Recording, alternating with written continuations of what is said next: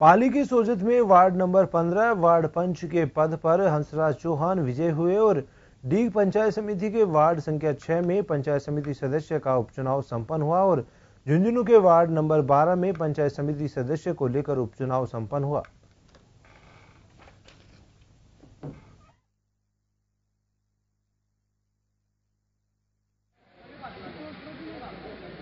Thank you.